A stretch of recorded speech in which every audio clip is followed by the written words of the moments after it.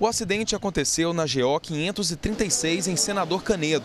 O caminhão estava parado às margens da rodovia quando foi atingido por esse carro de passeio. Olha como ficou à frente do veículo. Por volta das 3 horas da manhã, eu estava dormindo aqui no veículo e escutei um barulho. Escutei um barulho ali, um som alto e os caras gritando. É, aí quando eu olhei aqui, um acidente. De acordo com as evidências aqui do local, dá para deduzir que o motorista vinha na contramão.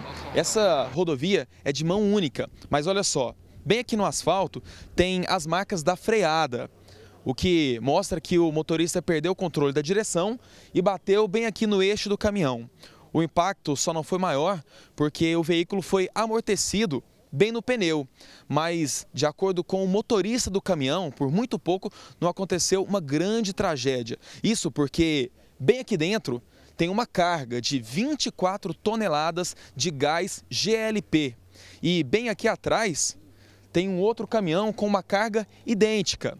O que dá para imaginar que, se o veículo tivesse pegado fogo, teria acontecido aqui no local uma grande explosão. O motorista do caminhão conta que estavam no carro dois casais de no máximo 25 anos cada um, todos eles sem cinto de segurança. Nós fomos lá, damos socorro para as meninas, ligamos para o bombeiro, o bombeiro veio, socorreu elas. E o rapaz, infelizmente, eu não sei se foi por medo, se foi por falta de habilitação ou qualquer coisa, ele evadiu e saiu do local. A polícia militar isolou o local e fez a sinalização adequada da rodovia até a retirada do carro batido.